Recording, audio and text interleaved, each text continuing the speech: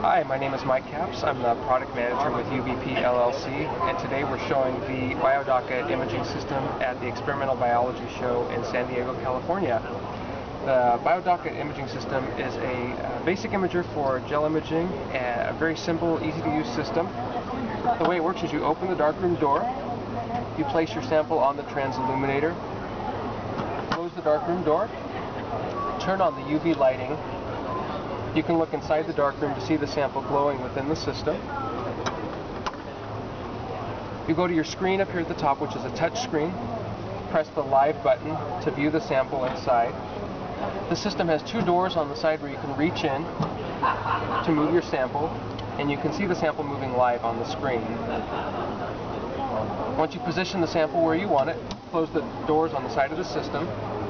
The lens on the top has uh, adjustments for aperture, zoom, and focus. So once you've set up everything the way you like it, you go ahead and just hit the snap button and the image is captured. Once you've captured the image, you can save it to a, USB drive here on the front of the system, or you can also network the system uh, wired through your, uh, through your facility. Uh, one last feature I want to show you here is our 3UV transilluminator located on the bottom of the system where you can select between 302, 365, and 254 nanometer wavelengths. Uh, one more thing that we have to show you here about the system are converter plates that you can put inside. One is a white light converter plate that you can place on top of the transilluminator. That'll convert it from 302 to white light for Coomassie blue samples.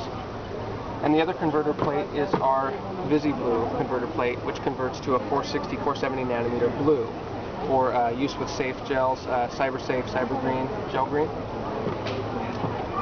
So for easy gel capture and saving for later analysis, you can use the BioDoc-It imaging system from UVP.